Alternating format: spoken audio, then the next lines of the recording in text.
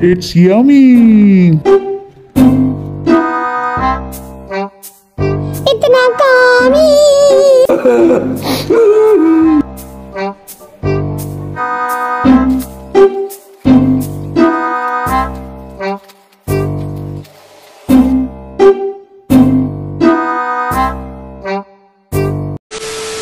Aslam guys welcome back to my channel versa की mom vlogs कैसे हैं आप सब? आई होप कि आप सब ठीक होंगे। और मैं भी बिल्कुल ठीक हूँ और काफ़ी दिनों के बाद व्लॉग बना रही हूँ क्योंकि टाइम ही नहीं मिल रहा। जैसा कि आपको मैंने पहले ही बताया था कि मेरा एच का टेस्ट है तो उसकी डेट्स फाइनली आ गई हैं तो मैं उसमें हो गई हूँ बहुत ज़्यादा बिज़ी क्योंकि जी, ये है एक गोल्डन अपॉर्चुनिटी और इसको मैं हरगिज़ भी मिस करना नहीं चाहती हूँ, क्योंकि उसके बाद पता नहीं वैकेंसीज कब आएँगी एच की। और ये बहुत अच्छी पोस्ट है, इसलिए मैं बहुत ज़्यादा एक्साइटेड भी हूँ। तो चलिए आपके साथ शेयर करती जाऊँगी अपनी आज की रूटीन और जी ये दो दिनों की रूटीन है क्योंकि मैंने रिकॉर्डिंग बहुत कम की थी। तो यहाँ जी मैं डोनेट कर रही हूँ। बर्ज़ा के काफ़ी सारे कपड़े थे वो बहुत आ, कुछ मैंने यूज़ किए थे कुछ बिल्कुल भी यूज़ नहीं किए थे।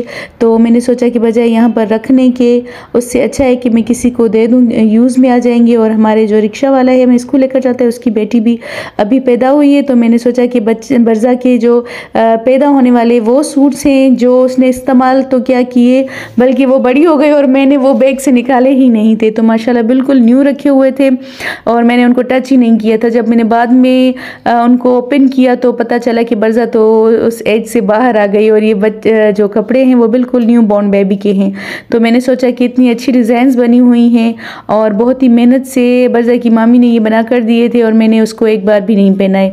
तो इस चीज़ के लिए मुझे बहुत अफसोस भी हो रहा था, लेकिन अब ये खुशी है कि चलो, बर्ज़ा को नहीं तो किसी और को तो काम आ ही जाएँगे। तो हमें अपनी लाइफ में, अपनी खुशियों में ज़रूर किसी न किसी को ऐड करना चाहिए। तो ये तो वो क्लॉथ्स थे और बाकी मैंने कुछ न्यू भी ले लिए थे। न्यू तो ये भी थे, लेकिन मैंने सोचा कि भाई देना है तो छोटे से बच्चे हैं, दुआ करेंगे, खुशी होगी उनके पेरेंट्स को भी जो नहीं जो है बाई कर सकते अच्छे अच्छे कपड़े हैं। तो चले बर्ज़ा का सदका भी निकल जाएगा और किसी गरीब की हेल्प भी हो जाएगी। एक और भी फैमिली है, उनके बच्चों ने भी कहा था कि आपके पास जितने भी अगर बर्ज़ा के पुराने कपड़े हैं या कोई भी हैं, वो डोनेट कर दें। तो ये अच्छी बात है और मुझे अच्छा भी लगता है। फिर उसके बाद बर्ज़ा के काफ़ी सारे शूज़ भी रखे हुए थे, जो उससे छोटे होते जा रहे थे। और कुछ उसको गिफ्ट्स भी ज़्यादा ही, क्योंकि ज़ाहिर बात है, मेरे पास तो एक ही बेबी है और उसको गिफ्ट्स काफ़ी सारे मिलते रहते हैं तो कुछ वो यूज़ कर सकती है, कुछ नहीं कर सकते, ऐसे ही उसका पैर भी बड़ा हो जाता है या क्या। और माशाल्लाह से काफ़ी यूज़ वाले कपड़े भी हैं। बहरहाल किसी को काम आ जाते हैं तो अच्छी बात है। तो चलें जी, आते हैं अपने टॉपिक पर। तो ये तो वीडियो मैंने रिकॉर्ड की थी, इसलिए मैंने सोचा कि आपके साथ शेयर कर दूँ कि यहाँ मैं क्या कर रही हूँ, मैं आपको दिखा रही हूँ कि कौन कौन से सूट है। तो आपको पिछले वाले ब्लॉग्स में काफ़ी सारे ऐसे सूट हैं, वो नज़र आ भी जाएँगे। जाएँगे और काफ़ी बिल्कुल न्यू हैं जो कि मैंने बिल्कुल भी यूज़ नहीं किए थे और कुछ मैं लेकर भी आई थी। चलें जी एच की तैयारी हो रही है जो कि बहुत ही टफ टेस्ट होगा। आपको पता है कि एचएम में ज़्यादातर जो है सब्जेक्ट है पेडागोजी है एजुकेशन से रिलेटेड है तो उसकी तैयारी आपको पता है बहुत टफ होती है।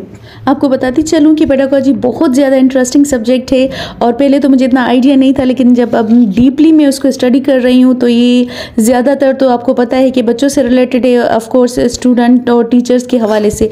लेकिन यहाँ पर जो चाइल्ड साइकोलॉजी को स्टडी किया जाता है ना, वो बहुत ही ज़बरदस्त है।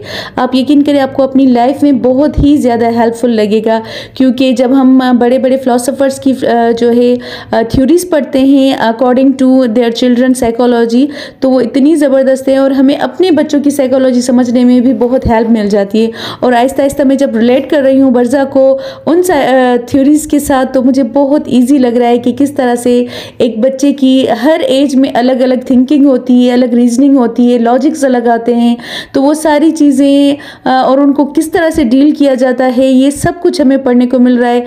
मज़ा भी आ रहा है इंटरेस्टिंग है बहुत ज़्यादा लाइफ में हेल्पफुल भी बहुत ज़्यादा है। और जी, मेरा इनशाला टेस्ट भी क्लियर हो जाएगा, आप सब भी दुआ कीजिएगा। तो यहाँ जी, बर्ज़ा को मैंने लगा दिया था काम पर, मैंने सोचा कि मैं यहाँ पर स्टडी भी कर रही हूँ, और मेरी एक ही बेबी है, लेकिन मैं उसे हेल्प ज़रूर लेती हूँ।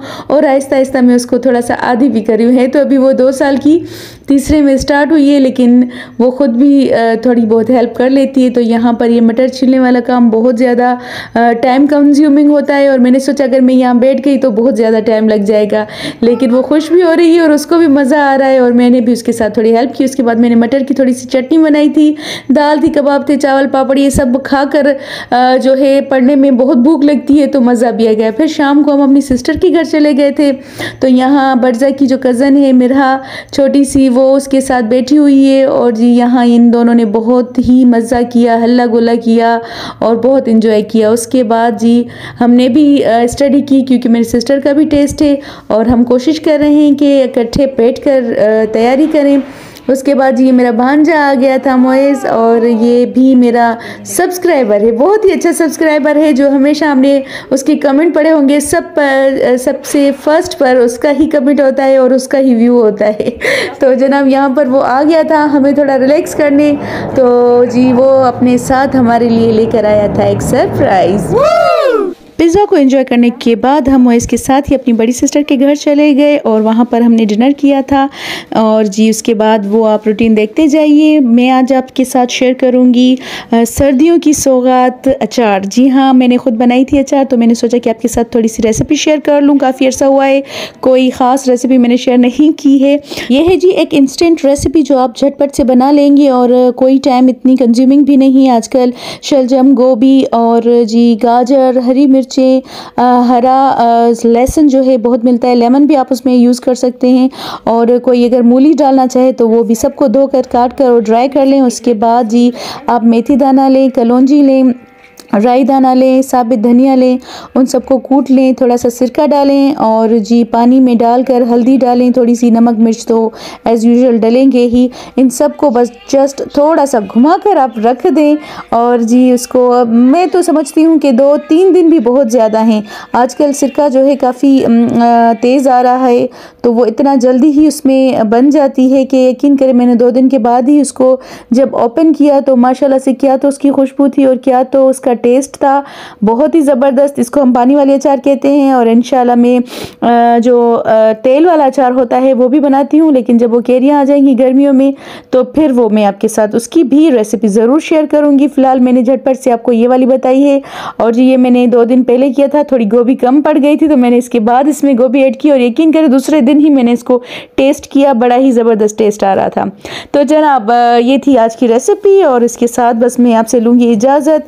नेक्स्ट नेक्स्ट व्लॉग में मिलूँगी। टेस्ट है, थोड़ा दुआ कीजिएगा, फिर कोशिश करूँगी थोड़ा जल्दी बना लूँ। तो यहाँ मिर्चें फ्राई कर रही थी, आग लग गई थी, और उसके बाद इसको बुझाने बुझाने में काफ़ी टाइम लग गया। तो जी चैनल को जिन्होंने सब्सक्राइब नहीं किया तो काइंडली जल्दी से सब्सक्राइब करें लाइक करें शेयर करें। और जी मुझे रखें दुआ में याद। अल्लाह हाफिज़।